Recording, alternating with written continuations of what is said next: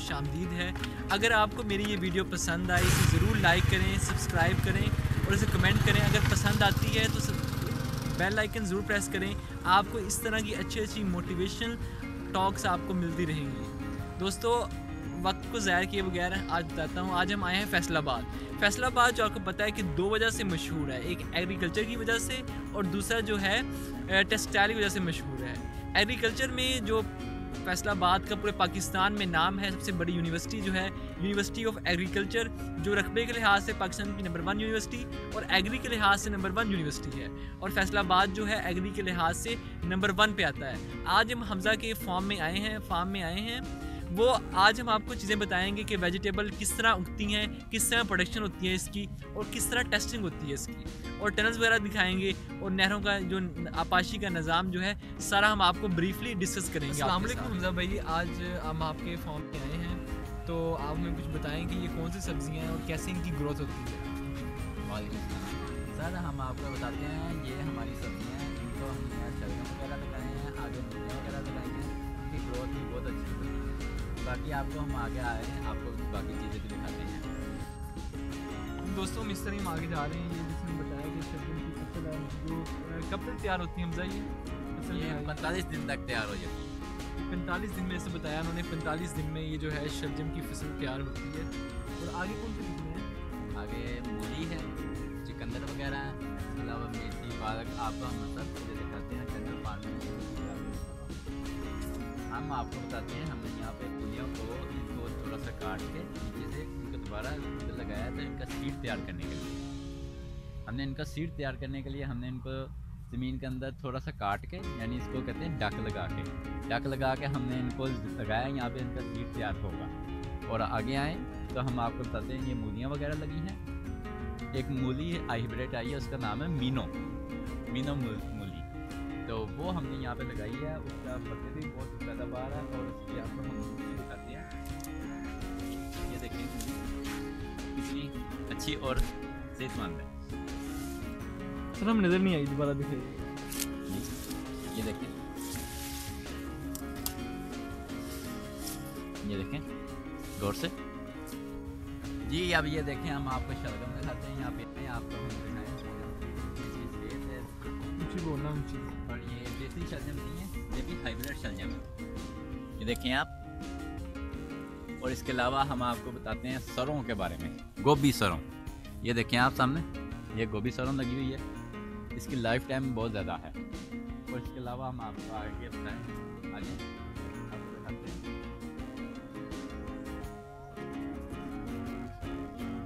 ये है hybrid bathroom एक तो होता है देसी, पर ये वो नहीं है, ये हाइब्रिड बाथरूम आप देखें, ये यहाँ पे पाकिस्तान का नहीं है, ये आउट ऑफ़ कंट्री का है, बाहर मुल्कों का। इसके अलावा आपको आगे हैं प्याज, ये प्याज लगाया हुआ है।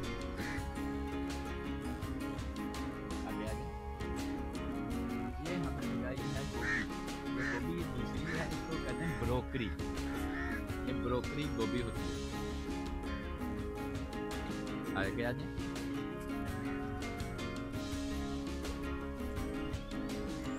हमने लगाई है पालक। ये भी एक हाइब्रिड पालक है, ये देसी के साथ हमने थोड़ा क्रॉस करके इसको हाइब्रिड में तैयार किया है। आगे आए, आपको हम और दिखाते हैं।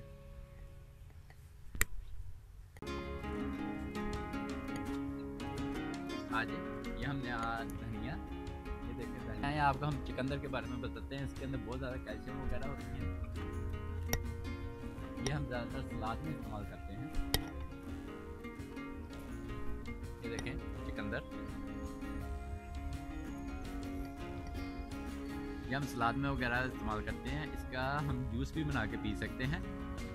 इससे बहुत ज़्यादा विटामिन मिलते हैं। आगे आए, हम आपको एक और चीज़ दिखाते हैं। ज़रात ने एक और चीज़ निकाली है। इसका नाम है चिया। इसका स्वीट तैयार होता है और ये काफ़ी फ़ायदेमंद ये देखें। ये पाकिस्तान का नहीं है ये बाहर से एक आया था सीड तो हमने इसको तैयार किया। और ये एक ऐसा सीड है जिससे आप दूध में या दही में इस्तेमाल करके अपनी सेहत यानी आपके जो अजाफी चर्बी होगी जिस तो हमजा भाई ने हमें बताया कि अब इसके बारे में ये जो पीछे शलजम के बारे में या चिकंदर के बारे में किस तरह की ग्रोथ होती है। तो आगे एक हमने जिस तरह किताबों में पढ़ा हुआ है ग्रीन हाउस इफ़ेक्ट कि टनल सिस्टम जो होता है ग्रीन हाउस इफ़ेक्ट सिस्टम है कि किस तरह हमने अपनी सब्जियों को एक एक हद तक टेम्परेचर फ्राहम करना है उसमें कहते हैं ग्रीन हाउस इफ़ेक्ट वो ग्रीन हाउस इफ़ेक्ट का आपको दिखाएँगे टनल सिस्टम के बारे में, कि आप टनल नज़र आ रहे हैं आपको। ये होता है ग्रीन हाउस इफ़ेक्ट सिस्टम कि हमने जो है कितनी अपने, अपनी जो फ़सल को या सब्जियों को वेजिटेबल को कितनी हीट फ्राहम करनी है, इसे बोलते हैं ग्रीन हाउस इफ़ेक्ट ये टनल सिस्टम है जहाँ पे मुख्तलिफ़ सब्ज़ियाँ जो हैं उगाई गई हैं। सर, जो टनल सिस्टम में जो टनल सिस्टम है, इसमें कौन सी सब्ज़ियाँ हम उगाने प्रेफर करते हैं हम? आप इसमें हर किस्म की सब्ज़ी लगा सकते हैं। कद्दू लगा सकते हैं, भिंडी लगा सकते हैं।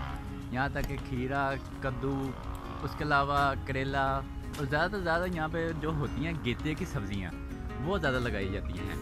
हम आपको यहाँ पे दिखाते हैं, हमने टमाटरों की काश्तकारी की है। सर इसलिए लिए टेम्परेचर कितना रिक्वायर्ड हम कितना हम क्रिएट कर लेते हैं टेम्परेचर इस टनल सिस्टम में? सर्दियों में इसको टेम्परेचर जो है टमाटरों का इसको टेम्परेचर ज़्यादा से ज़्यादा चाहिए होता है 18 से लेकर 23 तक टेम्परेचर क्योंकि ये सब्ज़ी है गर्मियों की पर इसकी काश्तकारी ज़्यादा होती है सर्दियों में। हम आपको गेते में यानी जो अगस्त में हमने टमाटर लगाए थे वो हम आपको दिखाते हैं। बाकी जो हमने अब लगाए हैं, वो भी आपको दिखाएँगे और जो पहले लगाए हैं, वो भी आपको दिखाएँगे। ये देखें, हमने आपको जो हमने अगस्त में टमाटर लगाए थे, अब यहाँ पे तैयार हैं, ये फल दे रहे हैं। तो आपको हम अभी दिखाते हैं, ये अच्छी अच्छी वैरायटियाँ हैं। आए।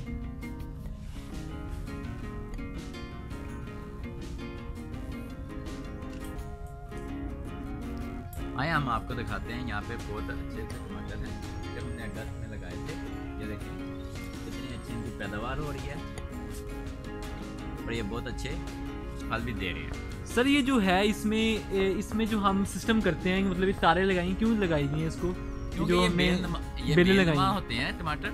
आपको हम फ़ील्ड वाले बताएँगे जो ओपन में लगते हैं वो लैदा होते हैं वो जाड़ी नुमा होते हैं।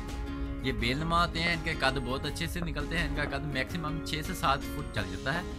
इसलिए हमने इनको लैदा आप ऊपर से देखे हमने टर्नल के ऊपर तारे वगैरह लगाई हैं। वहाँ से हमने सेबल लगा के यहाँ पे नीचे भी तारे लगाई हैं और किले भी लगाए हैं। तो हमने नीचे उनके साथ सेबे बांधे हुए हैं और उनके साथ ही इन टमाटरों को साथ बाँध दिया यानी इनको हमने खुद ऐसे किए ये बेल होते हैं पर लेकिन इनको हम खुद बांधते हैं। सर ये नालियाँ लगाई हुई नालियों का सिस्टम क्या सिस्टम है ये? ये हमने नीचे लगाया हुआ है ड्रिप एरीगेशन सिस्टम इससे पौधे को जितना पानी चाहिए होता है हम उतना उनको दे सकते हैं। यानी एक घंटे में डेढ़ लीटर एक पौधे को मिलता है। और इसके अलावा आपको हम दिखाते हैं। हमने तो ये आपको अभी अब दिखाए हैं ये टमाटर वो हैं जो हमने गेते में लगाए थे। इट मीन कि हमने जो अगस्त में टमाटर लगाए थे वो अब इस टाइम इतने तैयार हो गए हैं। अब जो हमने दिसंबर में लगाए थे हम, आपको, आपको वो दिखाते हैं। हमने जो अगस्त में पौधे लगाए थे वो ये हैं। आए ये देखें हमने जो अगस्त में पौधे लगाए थे वो ये हैं। ये देखें अभी इनका कद इतना ज़्यादा बड़ा नहीं है ये दो से तीन फुट हुए हैं। अभी इनको लगाया को एक महीना हुआ है। ये जो ऊपर हमने टनल लगाया है टनल में यही होता है कि इसको हीड परफॉर्म की जाए जिससे इनका कद ग्रोथ करे। और इसके अलावा टनल में यह भी होता है कि सर्दियों में जो कोरा डलता है रात को उनसे बचाने के लिए सर ये क्या लगा हुआ है। ये तरबूज लगा हुआ। जैसे उन्होंने बताया कि ये तरबूज लगा हुआ है वाटरमेलन के ये टनल्स हैं कि वाटरमेलन को भी हम एक खास हद तक हम हीट फ्राहम करते हैं जिसकी वजह से ये जो हमारे वाटरमेलन जो है अच्छी उनकी ग्रोथ हो सकती है। तो आज हम आपको एक नज़र दिखा देते हैं एक दफ़ा। ये हमारा वाटरमेलन सिस्टम है। तो आगे हम चलते हैं। जी हम अब आपको बताते हैं। हमने यहाँ पे मिर्चें वगैरह लगाई हैं देखिए आप। ड्रिप एरीगेशन सिस्टम के हिसाब से। ये देखिए आप खालियाँ बना के ये मिर्चें लगा दी हैं हमने। सर ये सर ये कब तक उग जाती हैं? जो मिर्ची होती हैं। ये मिर्चें आपको मार्च तक इनका फल तैयार मिलेगा। यानी आप मार्च में इनका फल बेच भी सकते हैं। ये जो मिर्चें हैं हमने टाइम से इसलिए लगा दी हैं। ओपन में आप आप अभी लगा नहीं सकते। इनको टंडल के अंदर लगाया इसलिए जाता है कि ये हाइब्रिड सीड है। ये टंडल वाली होती हैं। जो ओपन फ़ील्ड की हैं हम वो भी टेस्ट करने के लिए हमने वहाँ पे लगाई हैं। आपको अन... आपको हम जल्दी ये हमारा जो है ड्रिप एरीगेशन सिस्टम है। इसकी वजह से हम जो है पानी को एक स्टोर करते हैं। ये आगे आ जैसे हम तालाब में दिखाएँ ज़रा ये। आगे। आगे ये जो तालाब जो है इसमें पानी स्टोर होता है और जो मोटर लगी हुई है जैसे आपको हमने दिखाया पीछे कि ड्रिप के सिस्टम से जो है पानी जो है हमारे पौधों तक पहुँचता है और एक खास हद तक कि हमें जितना हमें पौधों को पानी चाहिए, उतना ही मिले और हमारी फ़सल जो है अच्छी बन सके। और जो है इसका फ़ायदा ये होता है कि हम तालाब में पानी को स्टोर कर लेते हैं और इस मोटरों के ज़रिए हम जो हमने अपने नालियों के थ्रू हम पानी लेके जाते हैं। और ये, यही था ड्रिप एरीगेशन सिस्टम और बहुत, जो बहुत अच्छी चीज़ दोस्तों, आज हमने यहाँ पे विज़िट किया, हमने जो हमजा भाई के फार्म में हमें बहुत कुछ सीखने को मिला और हमने देखा कि सब्ज़ियाँ किस तरह जो ग्रोथ होती है, इसकी मुख्तु चीज़ें हमें देखने को मिली। टनिंग सिस्टम देखा हमने वाटर एग्रीन सिस्टम देखा। हमें, हम किताबों में पढ़ते थे ग्रीन हाउस इफ़ेक्ट हमें कुछ देखने को आज मौका मिला ऑब्ज़र्व करने को। आपको भी बहुत चीज़ें देखने को मौका मिला होगा। हमजा भाई से हम शुक्रिया अदा करना चाहते हैं कि हमजा भाई ने हमें आने की यहाँ पे दावत दी। आप क्या कहना चाहते हैं हमजा भाई इसके बारे में?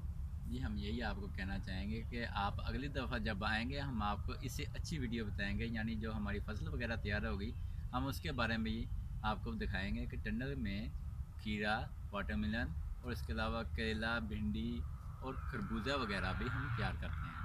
आप ठीक दो या तीन महीनों में आप जब चक्कर लगाएँगे तो हम आपको बताएँगे यहाँ पे टंडल में सब चीज़ें लगाई जा सकती हैं, गर्मी की भी और सर्दियों की भी।